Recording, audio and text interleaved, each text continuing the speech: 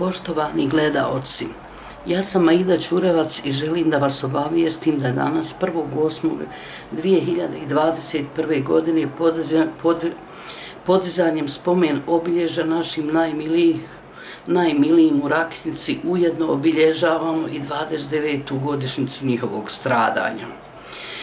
Na današnji dan 1.8.1992. godine raketnica je napadnuta sa svih strana i svih mogućih oružja od strane srpskih vojnih i paravojnih formacija. Tih dana raketnica je uništena do temelja.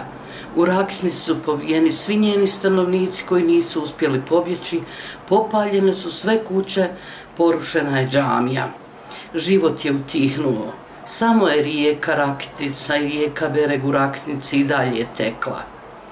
Malo je poznato da su naše komšije Srbiji u periodu 1941. godina, 1945. godina pljačkali, palili i ubijali Rakitnicu samo Božijom voljom tad od njih na vjetarniku i raketnici zarabljeno oko 40 osoba, moja nana Vasvija sa svojim novorođenim sinom Ademom i djevojčicom Almasom Alespajić preživjela je potop 1941. godine u rijeci Bereg, kada su, u hladno, kada su ih u hladnom zimskom danu na potapanje dotjerale komšije Srbi iz susjednih sela Bereg i Jasik na smaknuće.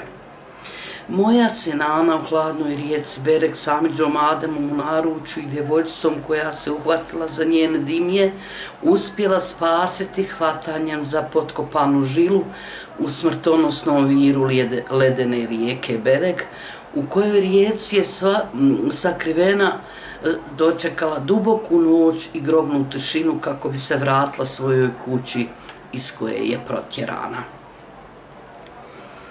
U kući je pokraj hladnog ognjišta neočekivano na svu svoju sreću pronašla svoje starije uplakane dvoje djeci Haču i Emina koji su se uspjeli sakriti u poljskom WC-u prilikom najezde iz Likovaca i iza sobnih vrata prilikom njihovog ponovnog čišćenja terena. Uzaludno je Meša Alespajić pokušavao izgraditi spomenik svojim potopljenim članovima porodice, familiji i komšijama. Umro je neispunjene svoje želje, ali je amaneta da to neko u ime istine i pravde uradi. Mi danas obilježavamo, e, mi danas podižemo spomen obilježe našim najmilijim koje su srpske formacije pobile u periodu 1992-1995 godina. Među njima je i moj još uvijek nepronađeni otac Amir Vražalca. Tužna sam zbog toga. Tužna sam, i zbog, i, tužna sam i zbog Mulke Branković, koja je ostala bez muža Hasana i sinova Emina i Nezira. Tužna sam i zbog Fehrije Branković, koja je ostala bez muža Mehmeda, sina Muhidina i čerke Azri.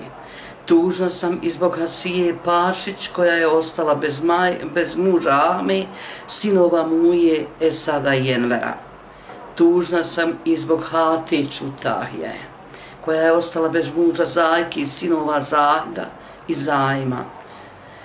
Tužna sam i zbog Sadete Mm, Pašić koja je ostala bez sinova Adila i Alije i tužna zbog svih njih 56 stradalih stanovnika Rakitnice. Posebno, posebno sam tužna što još uvijek tragamo za kostima naših Branković Naza, Branković Adil, Branković Pašić Adil, Pašić Adil, Pašić Ahmo, Pašić Sejda, Selimbegović Behija i Vražalac Samir. Tužna sam i zbog tužilaštva Bosne i Hercegovine koje nije procesuiralo napad na selo Rakitnicu i njene stanovnike, niti je Suzi odgovar, odgovorilo na informacije o Nikoli Niđi Koprivica, za kojeg smo dobili informacije da je učestvovao u, u napadu na selo Rakitnica, a koji je trebao da se izruči iz Kanade i radi učišća u zločinima u Novoseocima.